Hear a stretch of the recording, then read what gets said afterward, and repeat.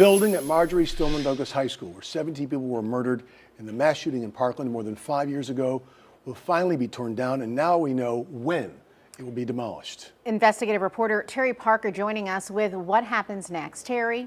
Felicia and Todd, that 1200 building where a lone gunman shot and killed students and teachers on Valentine's Day 2018 will be demolished this summer at the end of the school year, closing one more chapter for these heartbroken families.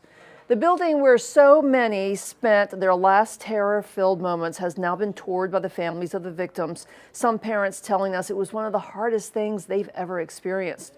Jurors in the trial of the now convicted shooter Nikolas Cruz also toured the building before coming to their verdict. And for an ongoing civil trial, there was a realistic recreation of the massacre held in the building. Now that building is scheduled to finally be torn down. The wife of athletic director Chris Hixon says it'll be one more door to walk through in the process of grieving.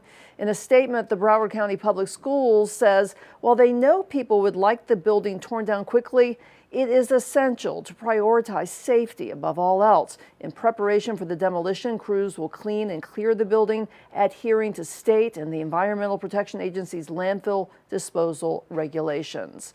The district adding that they are committed to supporting the community and will be providing updates as information becomes available.